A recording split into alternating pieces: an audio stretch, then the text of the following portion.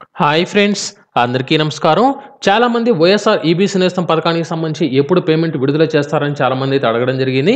అయితే ఈ పథకానికి సంబంధించి అంటే వైఎస్ఆర్ ఈబీసీ నేస్తం పథకానికి సంబంధించి మనకు ప్రతి సంవత్సరం నవంబర్లో విడుదల చేస్తామని ఏపీ ప్రభుత్వం తెలియజేయగా మనకు ఈ పథకానికి సంబంధించిన పేమెంట్ అనేది డిసెంబర్లో విడుదల చేస్తామని గతంలో ఏపీ ప్రభుత్వం అయితే తెలియజేయడం జరిగింది. అయితే దీనికి సంబంధించి ఈ యొక్క డిసెంబర్లో విడుదల చేస్తారా లేదా అనే దానికి సంబంధించి ప్రస్తుతానికి ఇంకా ఎటువంటి అప్డేట్ అయితే లేదు.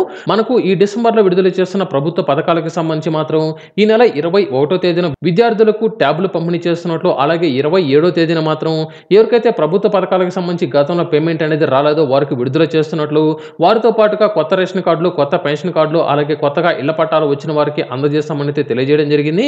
ఈబీసీ నేస్తం పథకానికి సంబంధించి ఇప్పటికే అన్ని లెవెల్లో వెరిఫికేషన్ అనేది పూర్తి చేసినట్లు అంటే ఎవరికైతే ఈ యొక్క వైఎస్ఆర్ ఈబీసీ నేస్తం పథకానికి సంబంధించి అప్లై అనేది చేసుకున్నారో వారందరికీ సంబంధించి ఇప్పటివరకు వెరిఫికేషన్ అనేది పూర్తి అనేది అయినట్లు ఇంకా ఎవరికైనా సరే పెండింగ్లో ఉన్నట్లయితే వారికి సంబంధించిన వివరాలు కూడా త్వరలోనే వెరిఫికేషన్ చేయబోతున్నట్లు సమాచారం అయితే రావడం జరిగింది. అయితే దీనికి సంబంధించిన పేమెంట్ అనేది ఈ నెలలో విడుదల చేయకపోవచ్చు. ఎందుకంటే ఈ నెలలో ఏదైతే ప్రభుత్వ పథకాలు విడుదల చేస్తున్నారో దానికి సంబంధించిన షెడ్యూల్ అనేది ఆల్రెడీ విడుదల చేశారు కాబట్టి వీలైనంత వరకు జనవరి మొదటి వారంలో కానీ ఈ యొక్క పేమెంట్ అనేది విడుదల చేసేదానికి అవకాశం అనేది ఉండొచ్చు. దీనికి సంబంధించి మీ యొక్క స్టేటస్ అనేది చెక్ చేసుకోవాలి అనుకున్నట్లయితే మీకు ఈ యొక్క లింక్ అనేది నేను ఆల్రెడీ మీకు డిస్క్రిప్షన్లో అందజేయడం జరిగింది.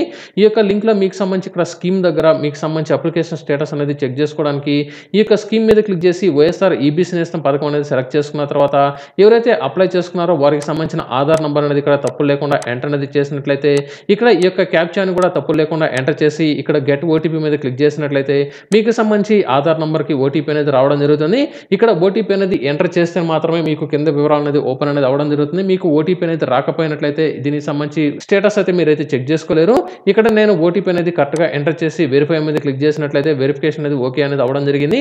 ఆ తర్వాత వీరికి సంబంధించి కనుక చూసుకున్నట్లయితే వీరికి సంబంధించిన బేసిక్ డీటెయిల్స్ అంటే రేషన్ కార్డులో ఉన్న వివరాలు ఎక్కడైతే రావడం జరుగుతుందంటే వారికి సంబంధించిన జిల్లా మండలం అలాగే సెక్రటేరియట్ నేమ్ అలాగే వారికి సంబంధించిన క్లస్టర్ యొక్క కోడ్ వారికి సంబంధించిన పేరు అనేది వచ్చిన తర్వాత ఇక్కడ అప్లికేషన్ డీటెయిల్స్ దగ్గర చూసుకున్నట్లయితే అప్లికేషన్ నెంబర్ అంటే మీరు రిజిస్ట్రేషన్ అనేది ఏ తేదీన చేసుకున్నారో ఆ తేదీన రిజిస్ట్రేషన్ అయిన తర్వాత వారికి సంబంధించిన అప్లికేషన్ నెంబర్ అనేది వస్తుంది. అలాగే అప్లికేషన్ స్టేటస్ అనేది ఇక్కడ అండర్ ప్రాసెస్ అనేది ఉంది.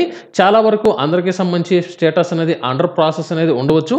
ఎందుకంటే వీరికి సంబంధించి ఇంకా ఫైనల్ లిస్ట్ అనేది ప్రిపేర్ అనేది కాలేదు కాబట్టి ఇలా అండర్ ప్రాసెస్ అనేది ఉన్నట్లయితే మాత్రం తప్పనిసరిగా మీకు ఎలిజిబిలిటీ అనేది అయితే రావడం జరుగుతుంది. ఒకవేళ మీకు ఆల్రెడీ వెరిఫికేషన్ అనేది పూర్తి అనేది అయి ఉండి ఈ యొక్క సైట్లో మీ యొక్క వివరాలు అనేది అప్డేట్ అనేది అయి ఉన్నట్లయితే ఇక్కడ అండర్ ప్రాసెస్ దగ్గర ఎలిజిబిలిటీ లేదా యాక్సెప్ట్ అనేది అయితే రావచ్చు.